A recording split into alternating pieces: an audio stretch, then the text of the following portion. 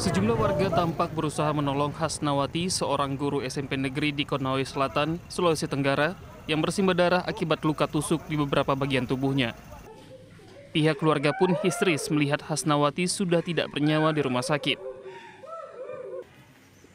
Tidak lama polisi akhirnya menangkap pelaku pembunuhan bernama Jamaluddin yang tidak lain merupakan suami korban.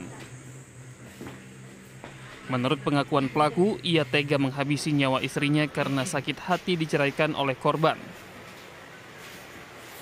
Pelaku kemudian membuntuti dan menyerempet sepeda motor korban saat korban hendak berangkat mengajar. Korban kemudian terjatuh dan saat itulah pelaku langsung menikam korban sebanyak tiga kali hingga meregang nyawa. Melihat istrinya bersimbah darah, pelaku langsung meninggalkan tempat kejadian perkara.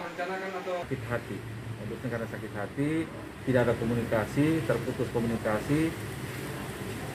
Diperkirakan istrinya mengajukan cerai kepada suaminya, sehingga suaminya merasa sakit hati, sehingga terjadi pembunuhan.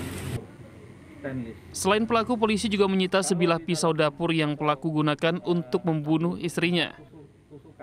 Akibat perbuatannya, pelaku dijerat pasal tentang kekerasan dalam rumah tangga dengan ancaman hukuman 15 tahun penjara. Dari Kabupaten Konawe Selatan, Sulawesi Tenggara, Andri Ramayana untuk CSI RTV.